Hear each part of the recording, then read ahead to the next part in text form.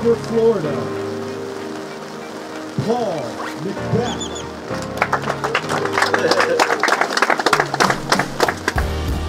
This tournament's been a battle.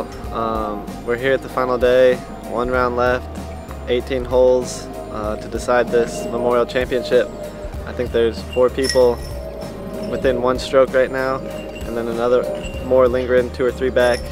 So I mean, it's been a battle. It's been a grind. You know, scores are nowhere near what they were last year, but the weather's a little different this year. It looks like it, it could rain. Um, actually, I think they're predicting 80% chance of rain. Um, I'm ready for that, prepared for that. I think it might bring in some higher scores, but I'm gonna attack it the same. You know, I think if other people are laying up, I have an opportunity to gain some ground, and you know, I'm gonna go for it. Just step up to that first tee and just get it in bounds. You know, you don't want to start this round with a bogey. Birdie would be huge, but par is fine to start this tournament. There's uh, 18 holes out there, so with with me being in the lead and a couple more tied, that first hole is just getting it in bounds.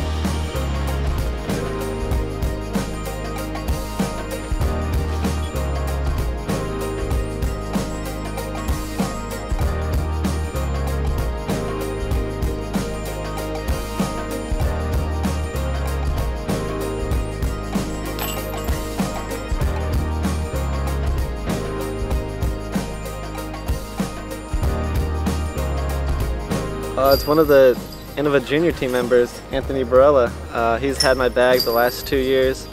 Um, uh, three years, right? Last three years? Two or three? Yeah.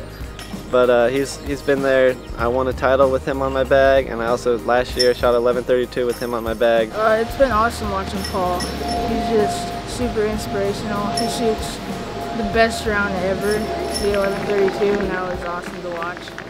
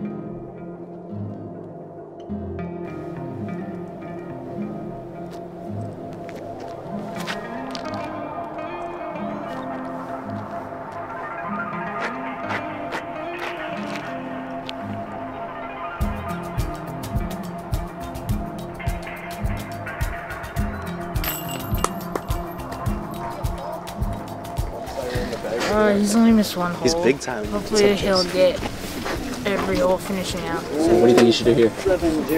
He should just play a huge hyzer and just get in the middle of the fairway and then just just put it up there for an easy birdie.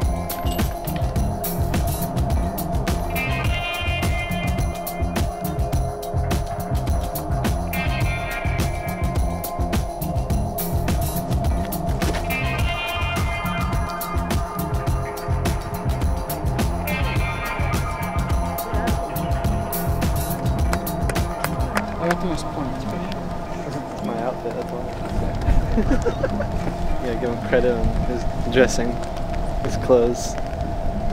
Nice choice. Got approved. Yeah, actually they are my clothes, so they're approved.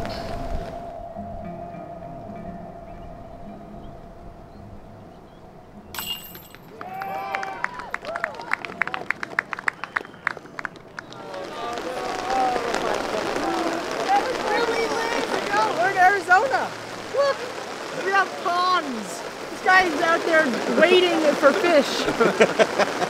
The fish are gonna start coming.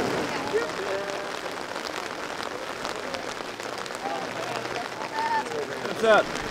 Dude, it is raining. Hey, Paul, Paul's in the middle. He's the only one that's protected. It's like a, it's like a shield. Is that a world champ privilege? Oh yeah. Uh, we're sitting out here waiting to play the last couple holes. I don't think I've ever seen it rain in the desert. But that's because I don't live in the desert, so. We're at a holdup right now. We've got a floodplain happening on one of the holes. I don't think I've ever seen this much rain in Minnesota, honestly. Back in the 90s, I had it happen at this same course. In the 90s. In the Back in the 90s. We didn't know about that, youngster. I wasn't, I wasn't even in digits yet. Um, there's a little water in the fairway. I, we were teeing off from up top, and you could see like the wave. It was like the tsunami coming in. You could see coming from that uh, drain down there, just rushing at the tee pad. And there were guys standing there about to tee off, and you could just see it rushing in. the lead card right now, they have to theoretically throw like from this deep water, which is I've never seen that. It's pretty funny. Yeah, my disc is in the water right now, so I I don't know where I'm gonna play from next. It's funny. We're gonna start at five o'clock. Official recap is Mother Nature dumped on us, and uh, we were forced to take a delay because of the uh, river that runs down hole 15, and it actually covered the tee pad, so it made it an unplayable. Uh, most of the men's pro open division played with a semi-river running down it, so we'll continue in the same fashion.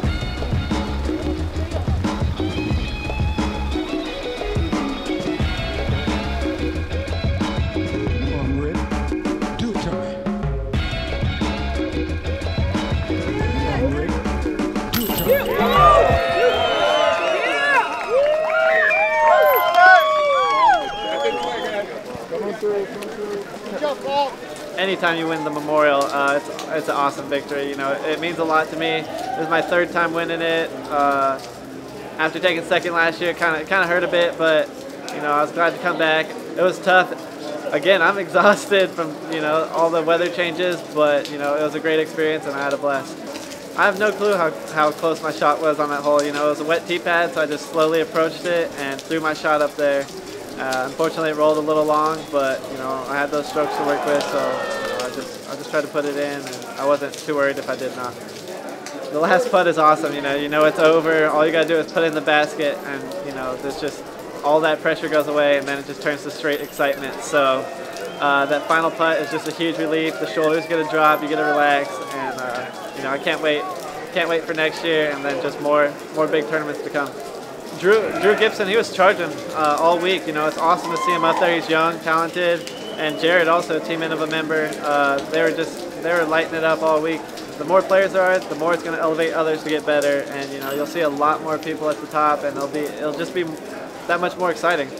I honestly have no expectations going into the season. You know, I had a good year last year. Uh, you know, of course the goal is to top that your previous year and get better, but you know, I just I just want to push myself to get better. You know, if I if I'm getting better, others are going to get better. So, you know, I, I need to push myself as hard as I can, and you know, just keep keep racking in wins, and you know, just just increasing that rating, and just feeling like I'm improving is the biggest goal. Is always improving.